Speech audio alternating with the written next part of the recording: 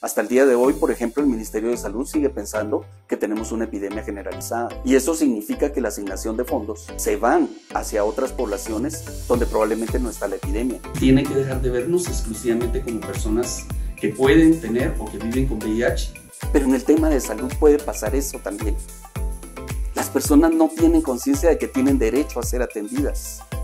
Entonces van y van pidiendo perdón por ser quienes somos y a la espera de que el personal de salud nos trate como quiera. Y muchas veces nos tratan como quieran.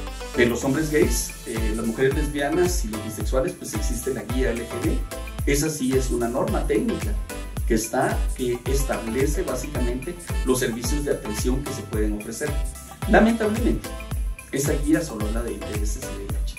Toda la prevención que se hace en Guatemala para los grupos en alto riesgo es con fondos de, de, la cooperación o el gasto de bolsillo de las comunidades. Sobre sus camas ponen los letreros donde dice que la persona vive con VIH. Entonces es una violación a la ley porque eh, el diagnóstico es secreto y no sirve de nada.